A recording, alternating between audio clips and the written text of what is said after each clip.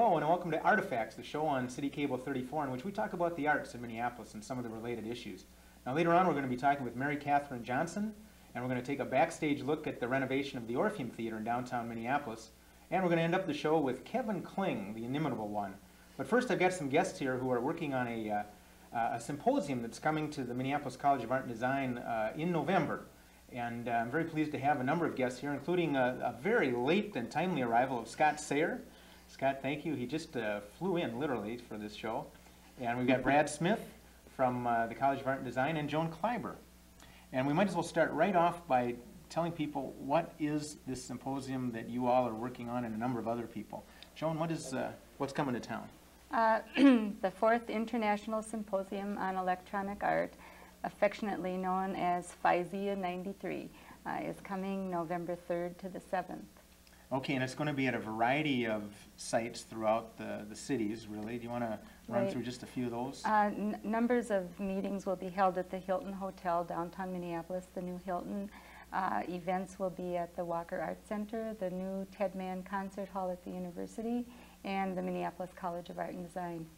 Okay, so there's a lot of choices and a lot of chances, and the headquarters is the Hilton. Right. Now, I know you're bringing in uh, speakers and presenters from around the world, um, but some of these events are uh, open to the public. I mean, local folks can come in and That's see right. them. Mhm. Uh, The Electronic Theater on Friday evening, the 5th of November at the Walker, will be open to the public. There'll be a showing at 9 o'clock, I believe, that the public is welcome to attend. The event at the Ted Mann Concert Hall on Saturday, that's at 8 o'clock in the evening. That's a sound performance event. That will be open to the public. And there'll be an exhibit of art at the Minneapolis College of Art and Design gallery for, actually from the uh, um, October 29th to December 16th, with an opening on Friday, the 5th of November, that the public is welcome to attend. I like the fact that you can just rattle those off and it has all that. But you've been working I've been getting this. a lot of phone calls about it. I bet you have. And you all have been working on this uh, symposium for well over a year, as I recall. Mm, A lot Two of years, probably. Yeah. And you brought a poster as well, uh, kind of the announcement Mhm. poster for FISEA, and maybe we can take a look at that for a second. And as uh, we take a look, can you mention, I think you know the artist who did Yes. that? Um, it was designed by Alex Tylovich. He's a student at MCAD, and um, he really has enjoyed his work on this project. He's helped, helped us with numbers of other things with FISEA, too. And it's over my head, but I've had a little bit of just the technical uh, issues that went into making this poster described to me. And this is an example, actually, of, if you will, electronic art, Right? or at least how it's produced. Um, Brad, you were telling me before we started the show that just the equipment alone that's going into this is sort of a major component of this, and you've kind of been tapped to work on some of that. Can you just sort of paint or sketch a picture of what's entailed there? Well, between the events at the, uh, at the college, at the Hilton, and uh, the Walker and the Ted Mann, there's probably about 130 events, uh, workshops, individual workshops, so on and so forth, that require equipment. And uh, so it's a big job. And it ranges from normal audiovisual equipment to uh, Silicon Graphics uh, workstations to produce uh, live interactive um, computer work and, and sound work as well. That's fascinating. Um, how did you get involved in this? I mean, what, uh, what's been your background professionally Uh, to even know about this kind of stuff? Well, as uh, director of the Media Center at MCAD, I basically run all of the production areas. Um, so I work with the equipment all the time, and I think they figured that, uh, that I could probably find it better than most people can find it. Now, I'm not sure if I can. Try and get it there in one will- piece, huh? work, yeah. Yeah, and that's, uh, you have that at the various sites that Joan was just mentioning, Correct, take it, yeah. Well, in a moment, I know that Scott uh, is going to talk with us a little bit about some of the electronic theater, but you brought uh, some slides Right. talking about the high tech here. Right. uh, Of some of the visual uh, images that will be coming in with different presenters. Right. Want to just talk us through uh, a few Sure. of At those the, um. At the college, um, there, throughout the uh, show and definitely between the uh, days of the, uh, the event, the uh, 3rd through the 7th, there will be interactive art uh, dispersed uh, in various places in the, in the school. And one of them is um, this brainwave rider, which is a, uh, basically a, a vehicle shell that you can sit in, and you wear a virtual reality helmet uh, that has sensors uh, in it that reads your brainwaves, and you drive this vehicle without hands, without your feet or anything else, just with your brainwaves. Um, You're- another. You're not, this will be here?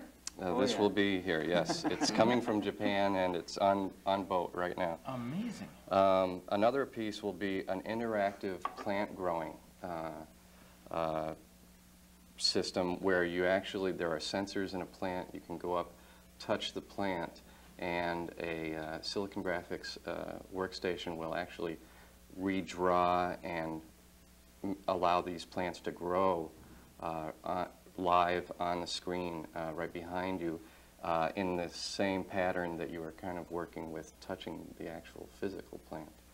Um, and there, um, uh, that should be quite interesting. There's also um, a uh, interactive uh, confessional uh, that uh, you basically can walk up to and choose uh, uh, various uh, sins that you have possibly committed and or uh, the Ten Commandments, and it will, uh, before doling out uh, uh, various Hail Ma- Marys, um, it will uh, kind of ask you personal questions, uh, and I guess it tends to uh, be a little more geared toward the, uh, the sexual uh, sins more than some of the others. So Okay, and then, and then is penance meted out here? Yes, yes. So you'll see a lot of people probably walking around uh, With big uh, smiles with uh, either big smiles or feeling uh, very guilty, I think. Amazing, amazing stuff. Well, thanks for sharing that. And I, I think you also brought some other images that we'll uh, let folks take a look at here as the, as the conversation goes on.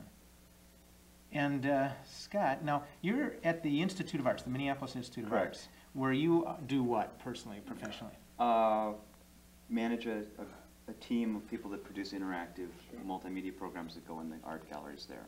So if you visited the Institute, you'll, you'll probably see uh, interactive installations throughout the whole museum. We'll have 15 in all uh, by 1997, we hope. So. Primarily on the uh, permanent exhibitions or the permanent collection? Correct. To help people better understand, especially people that are newcomers to the museum, really have a good understanding of, of what they're looking at and why it's why it's in an art museum and um, not someplace else. Now, for our audience and, and for me, I'm wondering, I think we take some of our institutions here in the Twin Cities for granted.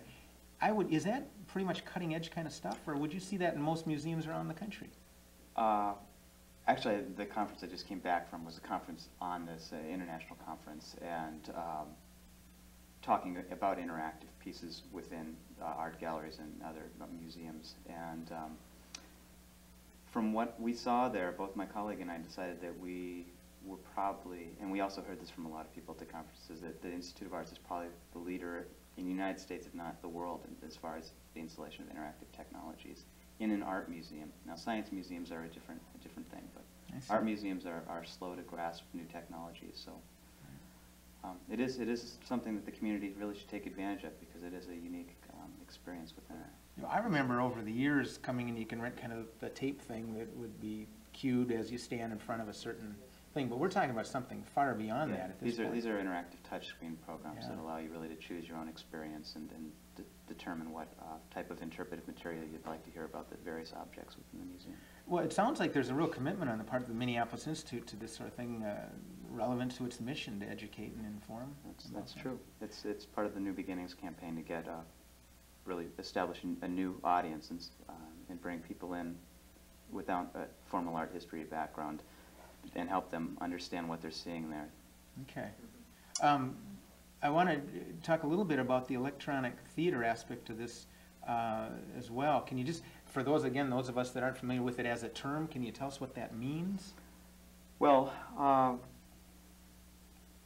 electronic theater, in- as far as FISEA is concerned, is, is,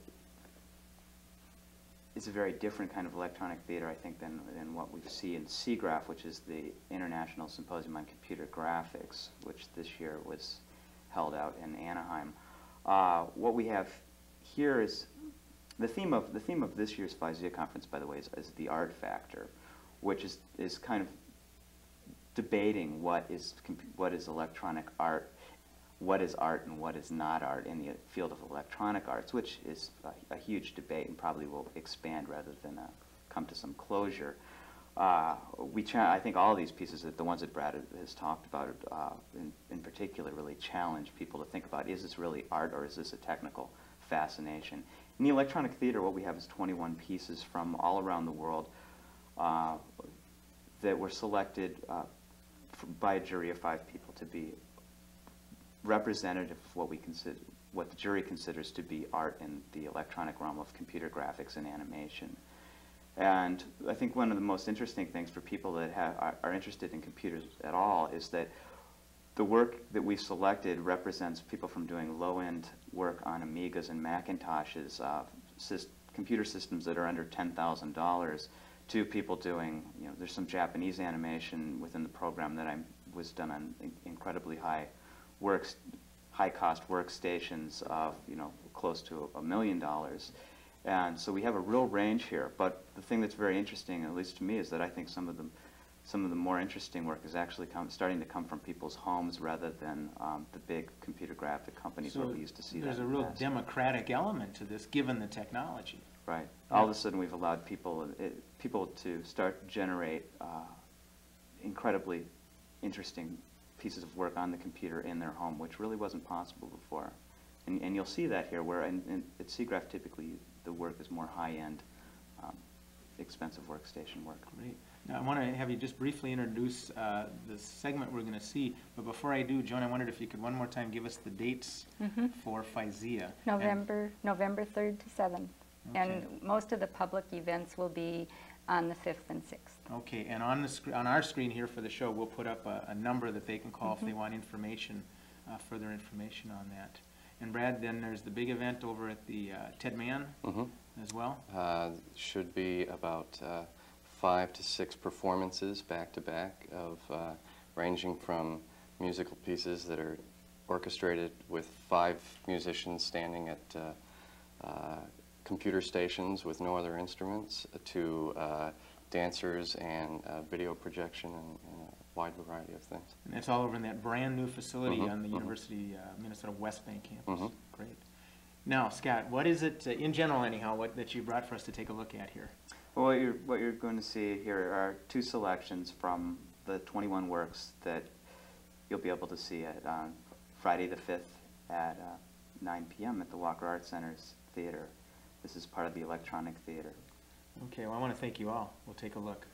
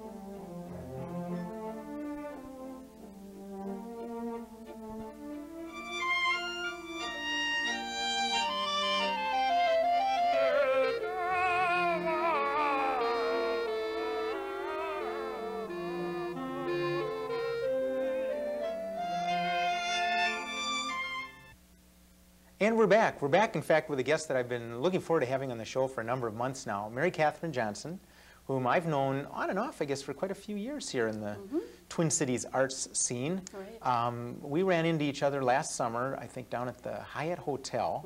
We were both attending uh, a neighborhood meeting. Right. Um, and you were there representing a particular The- arts group. Right, I was representing the Minnesota Sinfonia. Right. And uh, they're a 25-member chamber orchestra in the Twin Cities that have been um, operating now for about four years. Okay. And they're based in that neighborhood. um, Oh, down in the Loring Park area? Right, right. They perform uh, winter season at the Basilica every winter. Okay, So there'll be another season starting in January. right. And uh, they also do community concerts around town during the summer Mhm.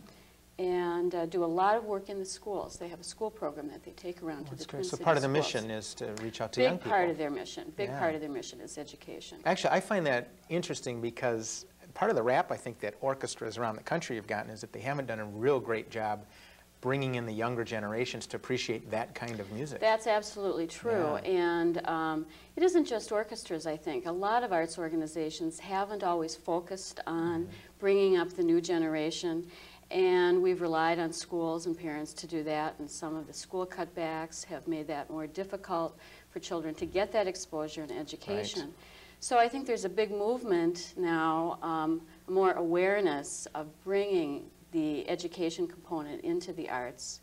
And I think that's very important. Oh, yeah. Well, I mean, they're going to be our future audiences for sure. And of course, it's out of that same uh, group of people that the future artists are going to come out of. That's absolutely true. Sure. Now, you are what's known as an arts consultant. Right. And that particular organization isn't your only client. No, right now I'm also working with another music group. I've been doing music groups lately. Mm-hmm. And that uh, group is the Sartori String Quartet.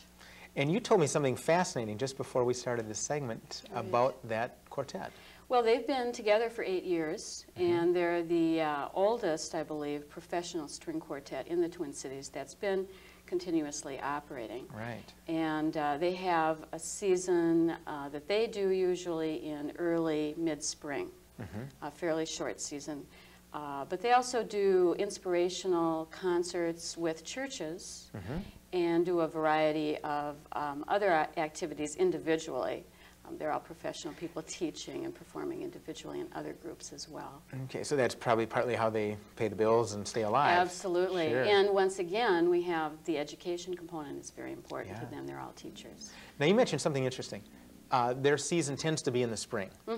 But here it is, the fall of the year before the next season. And I would assume that a lot of folks watching the show would wonder, well, why are you working with that group right now? What is it you're doing six, seven, eight months ahead of time for mm-hmm. that kind of a group? What goes into the work that you do? Well, actually, I've been working with them for a year, about, mm-hmm. and it's the kind of thing that you really need to plan well in advance if you're going to be very successful at producing your season, whether mm-hmm. it's concerts or theater or uh, gallery show. Uh, For this group, we're looking at their vision, their mission as an organization. They've been around for a long time, but they're interested in a little more exposure and more growth. And what kinds of things do they need from an administrative background to really help them uh, improve their ability to reach audiences? And so I'm working on currently a plan for them to do exactly that. And we're looking at what kind of things do we need to do this year to uh, be in a little different place by next year. Is it common for, for groups of artists, let's say, especially ensemble groups, whether it's musical or theatrical or dance, I suppose, um, to find somebody like yourself to do some of that administrative work or the development or the marketing or whatever? Oh, absolutely. Um, lots of organizations have paid staff people who are there full-time, part-time, on a regular, ongoing basis. Um, even with those kinds of setups, frequently people would bring in a consultant for a little extra work. Mm-hmm. Smaller groups who can't afford a paid staff on a continuous basis might bring in a professional. But then again, there are a lot of s- very small organizations that can't afford to pay someone to do that business end of it. And so they have volunteers or the artists who are doing the performing or whatever are also doing double duty as their business managers too. Is this, has this changed? I know the Twin Cities, we take for granted the wide range of, of groups and individuals in every discipline you can imagine. Right. Um, and here we are in the mid 1990s, and I think people take a lot of that for granted. Have you seen a change in the, the vitality or the, the growth of the arts uh, in the time you've been working in the field? Oh, I think absolutely. I've been um, working in the field for almost 20 years, I would say, and and there really has been a huge explosion, which is very wonderful to see. Many, many more opportunities for people to go and enjoy different kinds of uh, arts events, and this this is really very, very exciting. Although I think right now with the um, difficult economic times that we're, we're starting to see, that there may be a bit of a collapse of some of that, a little uh, pulling back in. Well, we've seen some groups, uh, you know, fold and, and other groups trying to rise out of that, yeah. And I think that always happens. There's always sort of a growth and um, tapering off period. And, um, and then there are maybe larger trends too, where every so many, every so many years you see a certain number of organizations sort of disappear. I was going to ask you about those kind of trends. Um, where do you see the most challenges in certain kinds of disciplines? I know you're working with music now or, or dance or whatever, or is it a generational thing that, that folks kind of hit their 30s or 40s and have to make different choices? Where do you see the big uh, struggles going on in the Well, I think arts? uh, on a lot of levels, Yeah. a lot of levels. Um, right now, uh, music is facing a difficult time. I mean, especially the large orchestras. Mm-hmm. Uh, it's uh, in some people's minds an old-fashioned kind of structure, and can they really survive the huge, Mm-hmm. expensive orchestras? Um, dance has always had a very difficult time, and certainly the more um, traditional forms of dance, like ballet, has also seen that. I think that's happened even earlier than with the, the major orchestras. But I think it happens also with the small theaters. And, And they have uh, less resources than some of the well-endowed majors that, uh, Right, not that they don't have hard times as well, but Right. You know, what I think really is there's more appreciation for the various art forms than maybe there used to be a long time ago. But there's more competition and there's a stricter uh, economic constraint. you from around here? Mm-hmm. yes, So I'm you've- from you- Minneapolis. you are? Yeah. Minneapolis. So you've had kind of a, an eye, a bird's eye view on, on the, the development of the arts scene Mhm. here. Yeah. Right, Well, that's an interesting question. Um, you go back home and you talk with the family and you say, I'm an arts administrator. How do they react to that? Well, um, I think most people, um, including my family, I suppose, don't really understand what that means because it's a relatively new profession.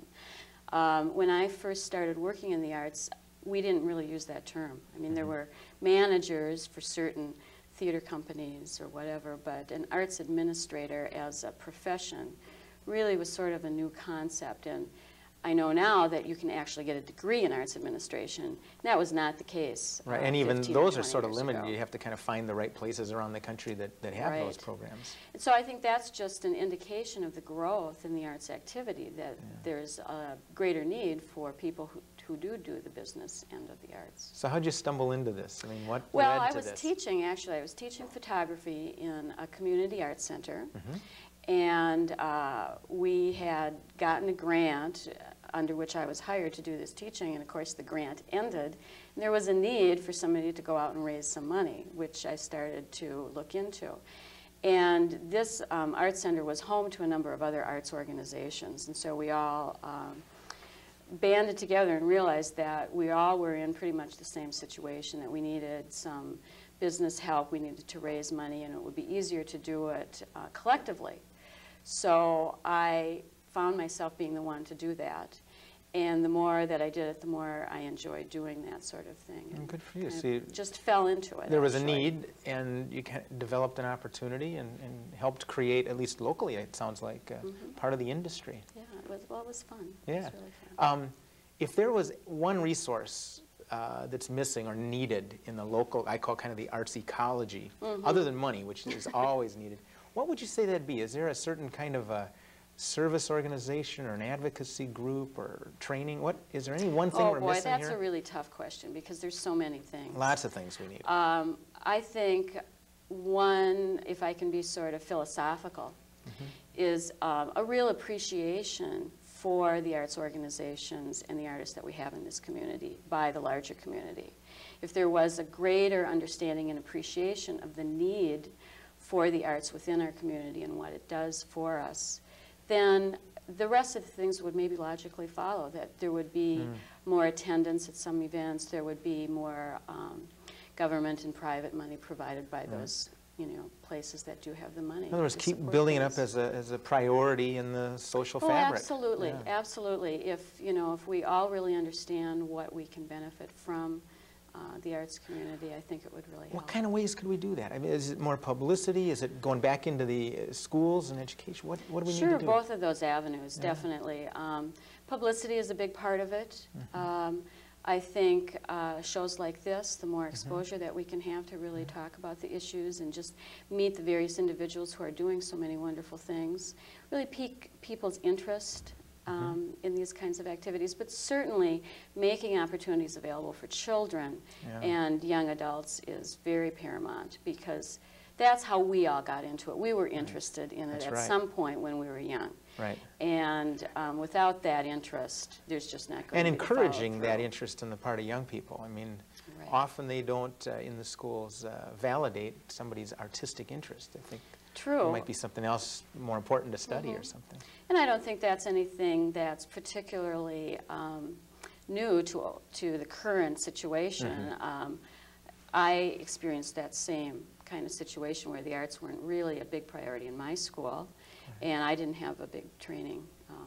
Right, although you had the interest. But I definitely had the Sure. interest, and I pursued it on my own, so Yeah. And here you are. here I am, surprisingly. Well, we've got just a moment left, but a a short question and, and a big answer, I suppose. Are you optimistic about uh, the, the future of the arts, especially locally, but just in general? Well, I think so. I'm, I'm always sort of a worrier, uh, but certainly we've got a very healthy situation here compared to various other times and places. And um, there is a growing interest in arts education, and so that, that makes me That's great to hear. Yeah. Mary Katherine, thanks for coming on and Thanks, sharing all these thoughts with us. Sure. Appreciate having you on the Great. show. Nice to see you. And speaking of uh, attendance and things at some of these arts events, the uh, art factoid that we're going to show you right now uh, speaks a little bit about that. And right after that, we're going to go take a look at the renovation they're doing on the Orpheum Theater on Hennepin Avenue in downtown Minneapolis.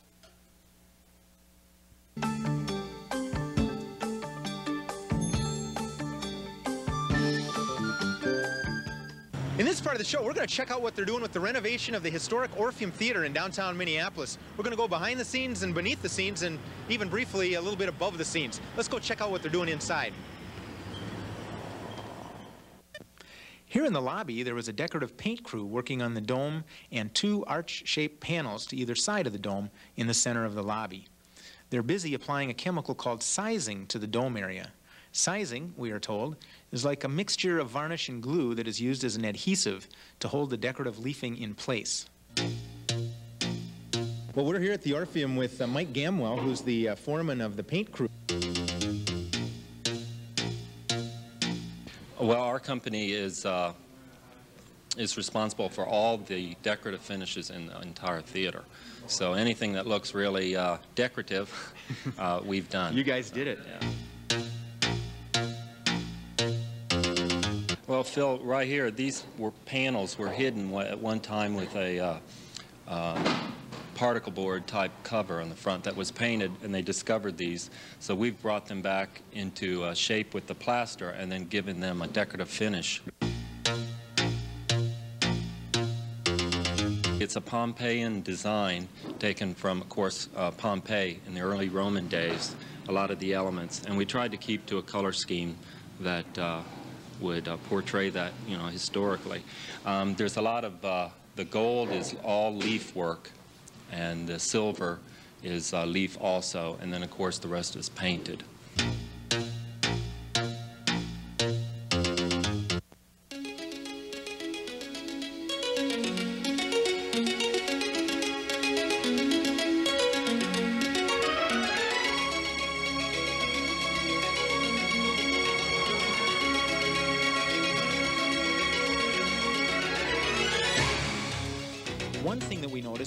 About everywhere we go in the theater is plaster. there's a lot of ornamental plaster. In the lobby area, we see how some particular plaster enrichments were restored, as well as the restoration of two of the largest pieces in the entire theater. Originally, what happened in 1947, they had a renovation project, and they dismantled the original enrichments that went all along the entire lobby area here. Our biggest problem was trying to find a casting or something to go by that would match what we had uh, on a picture. The original plaster castings looked like this old metal casting that was discovered in back of the theater by Bruce. This metal casting was used as a mold to make the new plaster castings. They needed 66 of these castings for the lobby. This is how they are made. If you can just imagine that piece of steel sitting in a big box and then pouring rubber over it, removing the steel, you have the negative of what you want to cast. So all you, all you have to do then is start applying the plaster inside here, lay your fiberglass tape all through, in through this area, and as soon as it sets up, take it out.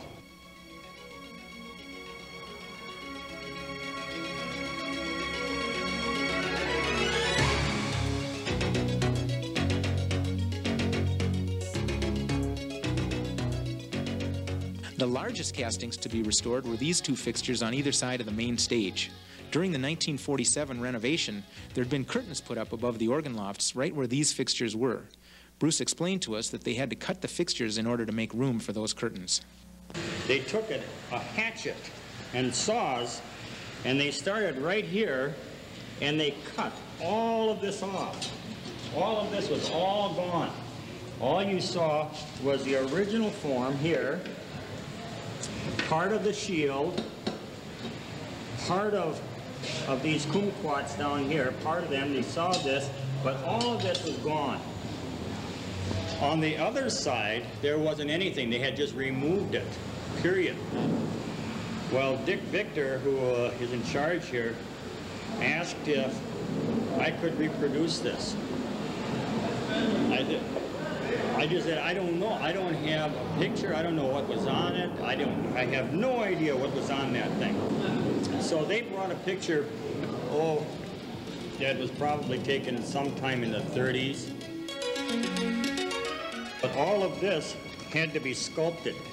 So I started out, we, I started on the bottom, and I started to sculpt out of plaster, molding plaster, all of the, all of those ornamentations there, all the fruit, the apples, the kumquats, the pears, the grapes, and what have you, and all the leaves. And we started, I started there, and when I got that complete, then I worked up from the ribbons, coming all the way around the shield, replaced some of that shield, replaced this, and sculpted all of that.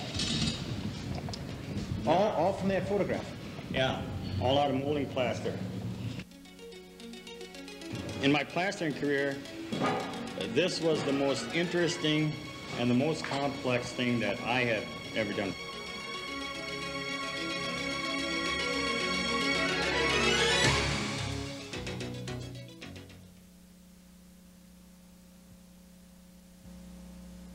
Below the scenes, we found some of the old electrical equipment which we were told is run on DC power. Now, DC is almost obsolete in Minneapolis, but at the time the Orpheum was built, it was the only power available that could run the lighting systems needed for the Orpheum Theater. Going back up, we ventured into the stage area.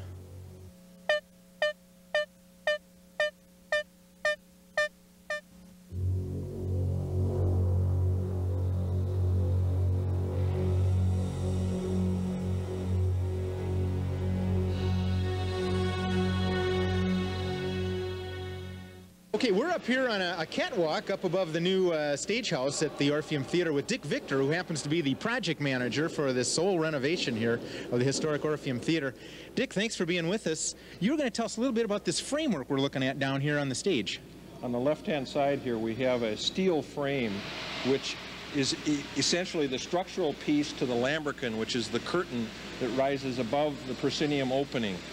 And uh, it's down now because we're measuring it for the curtains that are going to be installed shortly.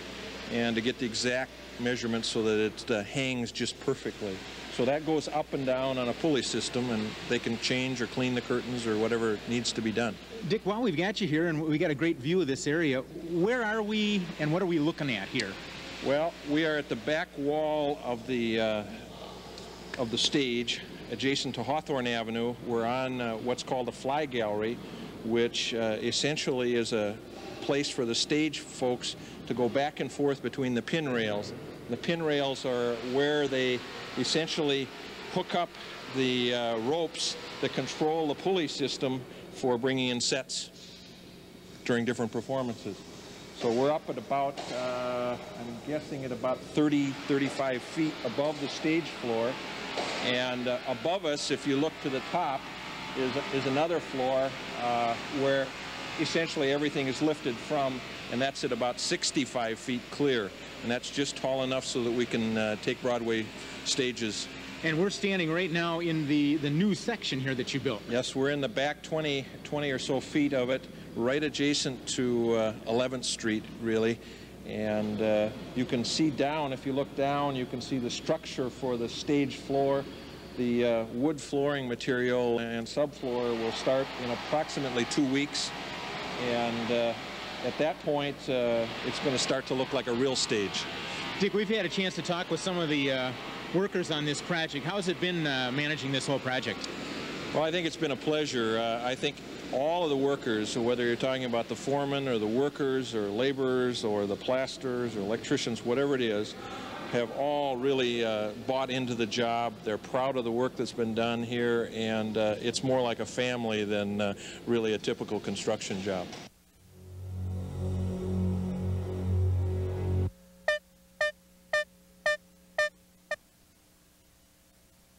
The bathrooms are not being restored to their original form, and we'll tell you why. It used to be that when women had to use the restroom at the Orpheum, they had about four stalls. Uh, and they've greatly expanded the uh, facilities here for the women up on second floor. They used to have to just use this one. The men went all the way downstairs. Where I'm standing now, there are 16 stalls, and there are more in the other part of the building. Also, we should mention that all the bathrooms after the renovation will be handicap accessible. Okay, now we're on the outside of the Orpheum, and you can see over here the uh, old brick.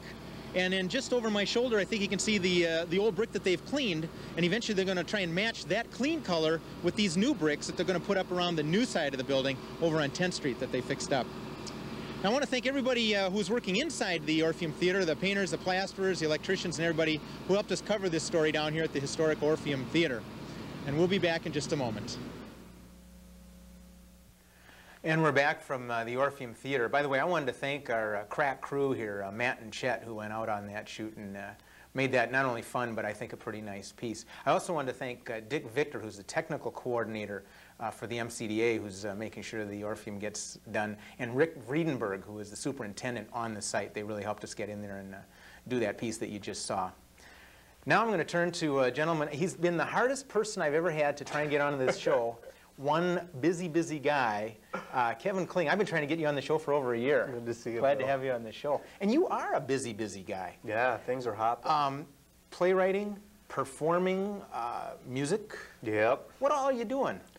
That's storytelling, a little bit of storytelling. Uh, I just came back from Vermont. I did a CD out there with the guys called Gang of Seven. They used to be, um, oh, what were they called? Windham Hill.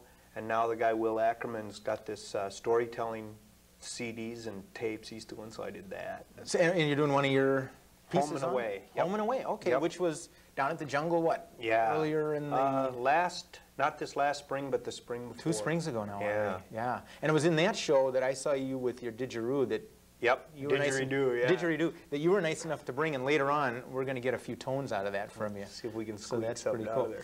Uh, one specific thing you got coming up is something that I think some of our audience has probably heard of, and that is bad jazz. Yeah. Uh, coming up, it's our 10th year anniversary. Our pork pie hats with X's on them. We got, but uh, yeah, 10 years we've been together. Uh, we met uh, going down the river with Heart of the Beast when we went down the Mississippi River on the boat that sank at the Ohio, and uh, we were going down doing a circus, Circle of Water Circus. We were down there at the same time uh, Jacques Cousteau was going down, and so we'd wave up at Jacques Cousteau on his boat, and his boat was the Calypso, and so we painted on our boat the Collapso, and it went under. And uh, yeah, that was a great tour, and that's where I met Mike Sommers and uh, Loren Niemi, and we formed Bad Jazz. And Now tell people, for those who don't know, what is bad jazz? It sounds like something you'd want to avoid. It it does, but you don't want to. It does Heck on no. the surface. For some reason, it works. It's like a it's like a well-timed myth. It's like it. You never know why it works, but it does. And it's uh, the, us three. We play to the best of our abilities, which I I personally plateaued in the junior high, and I'm playing a tuba. And uh, Mike's really good on drums. He actually is really good on drums. He Mike- is a drummer, yes. He, d- did the uh, music for the Guthrie several times for the Mm-hmm. history plays, and, and so he knows his stuff on the drums. And and Buzz, Dr. Buzz, that's Loren Niemi. Yeah. He- that's his uh, Yeah. his moniker. Dr. Buzz can gab with the best of them. Yeah, he comes out and lays it on the audience a few times. Yeah, I've he can. He can. So uh, Now, you guys have done bad jazz in a, a number of venues. Mm-hmm. Uh, I've seen you at the Walker. I've seen you at uh, Loring Park. yeah, And this is coming up uh, at uh, the Jungle. at the jungle. Yeah. What Uh, are those dates again? Um, the 15th and 16th, and then the next Friday and Saturday. Okay, so add seven to those, I guess. 20, 22nd, 23rd. Yeah, something like that. Okay, But the middle two of the month. Fridays and Saturdays in That's the middle of the month. great. Yeah. So now, are you doing all new stuff, or are you bringing out like the greatest hits of? mostly the greatest hits.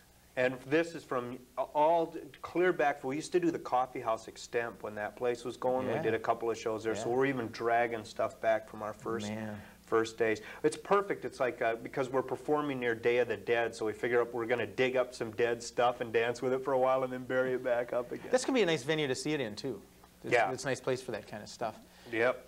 Well, Bad Jazz, but you're also doing some stories uh, this month again. Yep. uh, at the Jungle. The 12th, um, Loren Niemi again has this thing called Two Chairs Telling. And Mm-hmm. every, I think it's the first or second Tuesday of every month, he's got um, two storytellers that come up and, and do stories. Okay, so he's not necessarily one, he's curating it, Right. and then you'll be there And with. um, Phyllis Wright. Oh, what you know. Phyllis? I know. You bet.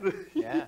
I know, that's going to rock. Wow. So, uh, yeah, that's that's the storytelling at the jungle. God, check your guns at the door, huh? Oh, geez. And that, that's all new stuff. I'm going to, that's going to be, Well, now let me ask Kevin Kling this, because you're, you're prodigious. You work on a lot of different things. This is all new stuff. Uh, Mm-hmm. That's just a couple weeks away from when we're taping this.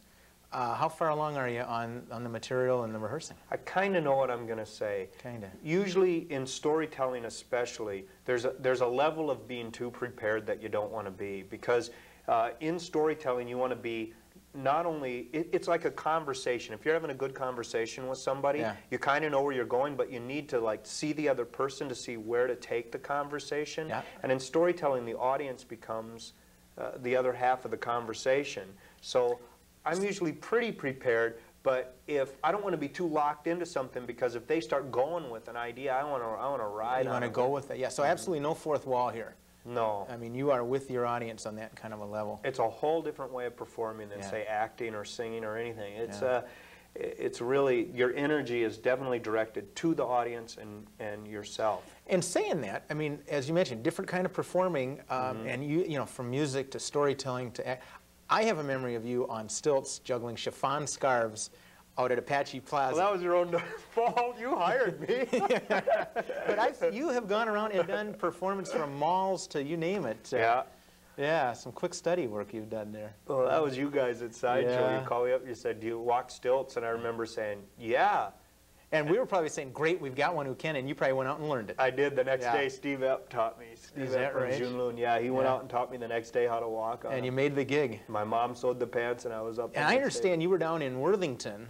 Yeah, uh, in, a, in a, something that I, if I'd known at the time, I probably would have been sending money to the insurance company. King Turkey days. Yeah. Yeah, we went down to see the turkey races, and Sideshow again was hired down there.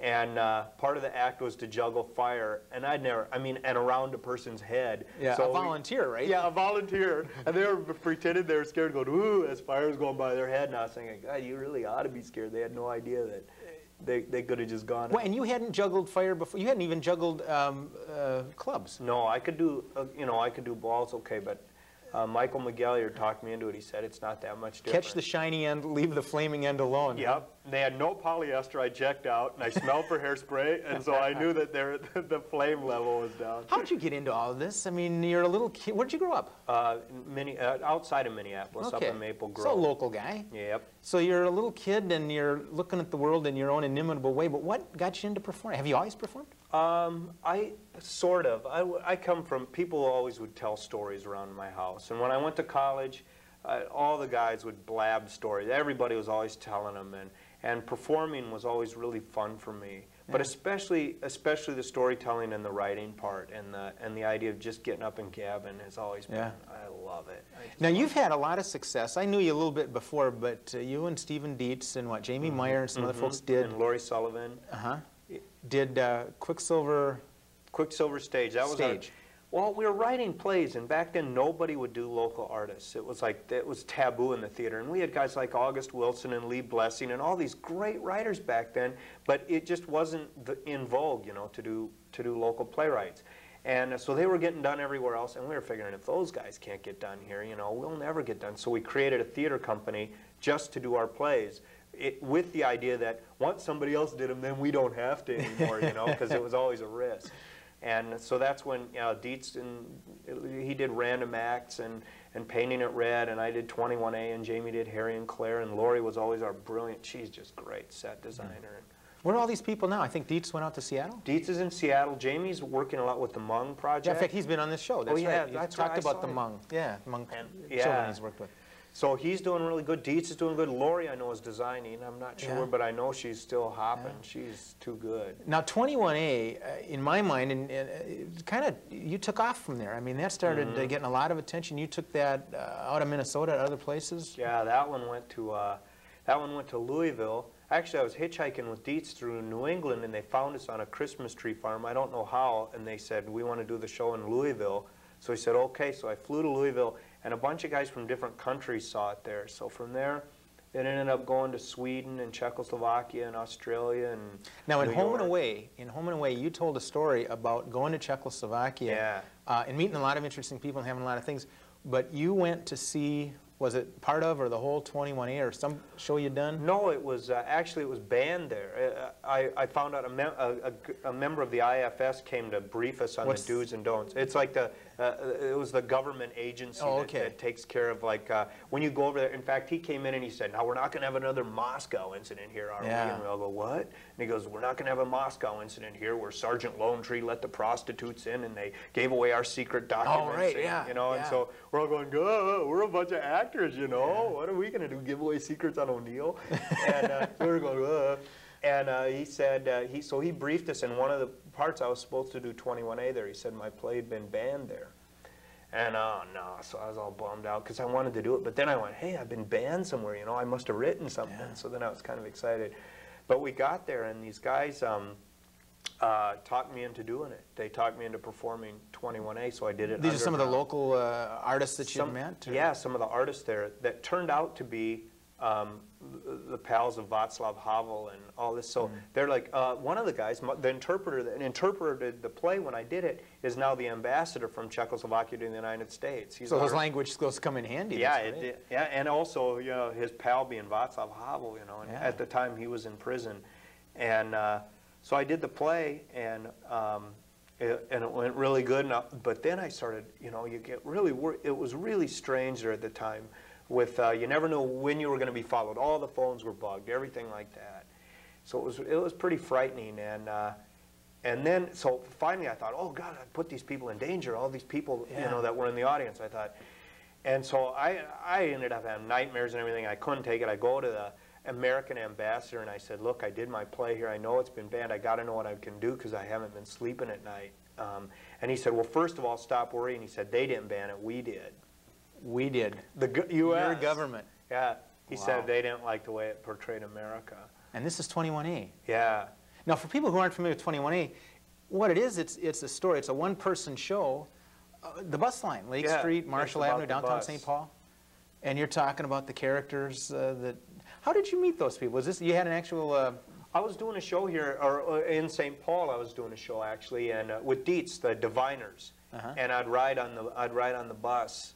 That's a uh, every remarkable bus line. Oh, geez. Yeah. Yeah. It, and the wildest stuff would happen. Sure. Just the funnest stuff. I mean, that's the line that goes from uptown Minneapolis with everything that goes on up there, all the way down Lake Street, Yeah, it Uh, crosses. over the river to St. Paul, and Yeah, it goes through. I just remember one time this just this hammered guy. He'd just been drinking like crazy. He gets up to the front of the bus and he's about ready to leave, and he straightens himself up and he turns to this little tiny woman. She must have been 80 in the front, and he goes, "She's in charge now."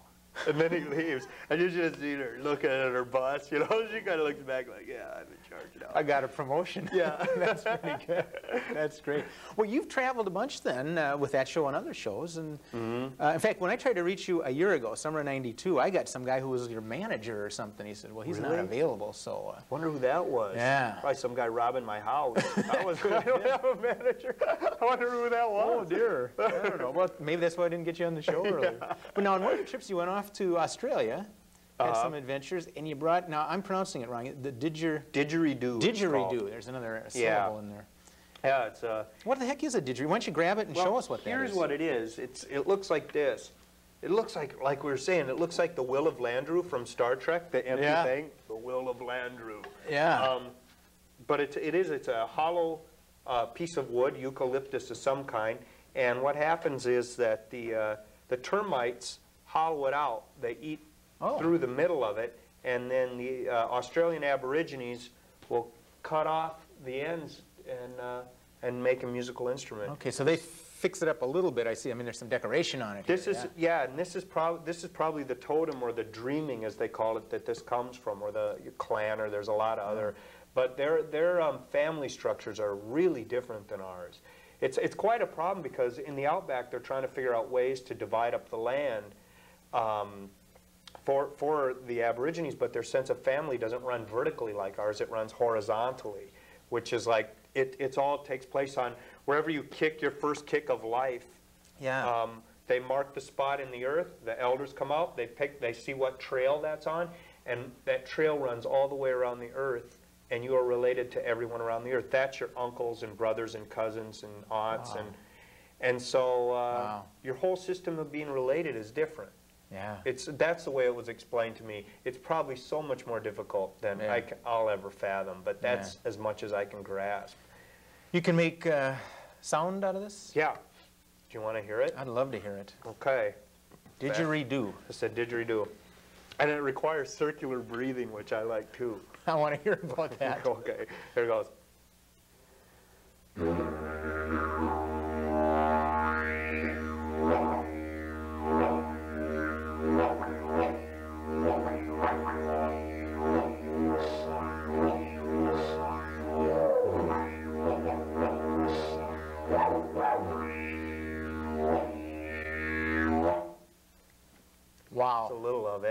That is very cool. Right about now, people who were out of the other room watching this show, they're saying, did you call? That's incredible.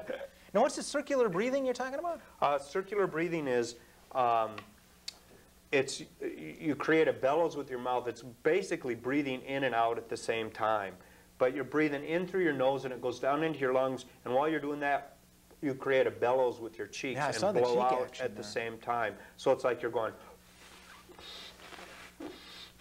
I think I know some bagpipe players that could use that skill. They, there's a uh, who was it? Coltrane. He could play. He played one of his whole albums without breathing, without taking a breath. Amazing. Kevin, Yeah. we've got about one more second. Long-term projects coming up after these shows at the Jungle this month? Uh, ice fishing play at the jungle in the spring. Spring of in the- '94? Yep. And uh, yeah, mostly it's bad jazz coming up. That's what's it. Sounds great. Kevin, thanks. Thanks a lot, Glad to have you on the show. Good to be here. Now, as usual, if you've seen anything or anybody that you'd like to know a little bit more about that was on the show here, you can call the City Cable 34 hotline, 673-2234. And at the very end here, we'll have a calendar of upcoming events. And next month, by the way, we're going to have some guests on talking about the City Children's Nutcracker. We'll see you next time. This is Phill Lindsay.